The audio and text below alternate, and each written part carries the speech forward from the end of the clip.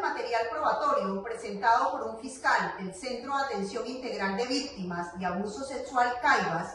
el juez primero penal municipal con funciones de control de garantías y conocimiento de San Andrés Isla dictó medida de aseguramiento en establecimiento carcelario en contra de un hombre presunto responsable del delito de acceso carnal abusivo con menor de 14 años agravado en concurso homogéneo sucesivo. A su vez se logró que se accedieran a medidas de protección a favor de las víctimas por parte del Instituto Colombiano de Bienestar Familiar.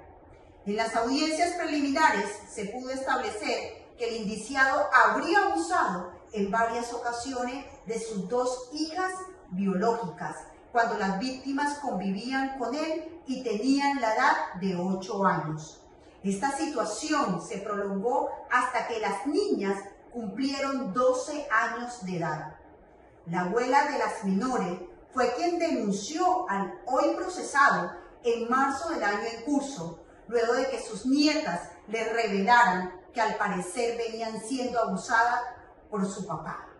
La captura del hombre ocurrió en vía pública del sector Loma Limba de San Andrés Isla, gracias a las labores investigativas a cargo del Cuerpo Técnico de Investigación CTI y la SIGIN,